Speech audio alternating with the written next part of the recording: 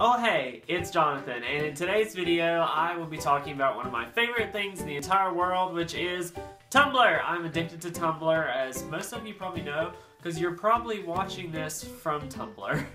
So in today's video, I'm going to be giving some of the things I've learned from Tumblr, because my goodness, I've learned a lot, good and probably bad too.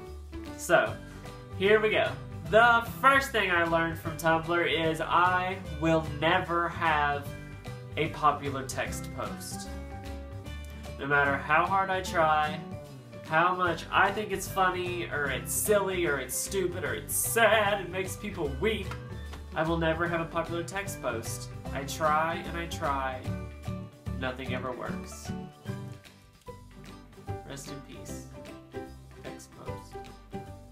The second thing I learned from Tumblr is Connor Franta is pretty much the king of Tumblr because he has 10 bazillion followers and he posts tons of stuff every day and he reblogs me a couple times, you know, maybe five, six, seven, eight, nine times. So that pretty much makes me like the Duke of Tumblr if he's the king.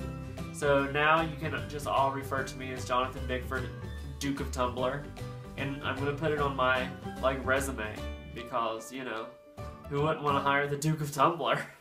The third thing I learned from Tumblr is One Direction. One Direction. One Direction, One Direction, One Direction, One Direction, One Direction. also, fan wars are pretty intense. They're crazy. Directioners, harmonizers, five seconds of summers. I don't know what their thing is. The fourth thing I learned from Tumblr is nobody gives a crap about Twilight anymore. What's Twilight? Are you talking about Twilight?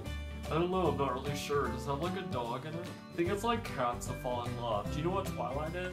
Twilight? Twilight? What's a Twilight? Old ladies like it though.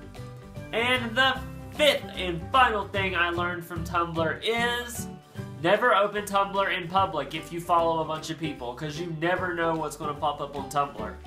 Cause like I have to constantly unfollow people because they post some pretty scandalous things on Tumblr that I don't want to see. Even though I know some of you little people out there want to see it. I bet you do.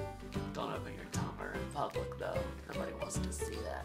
Nobody wants to see that. Thank you guys so much for watching this video. If you liked it, please give it a thumbs up and subscribe to my channel. If you don't follow me on Tumblr, follow me on Tumblr and all my social media. All the links are in the description. And thank you guys so much, and I will see you next Friday. Bye.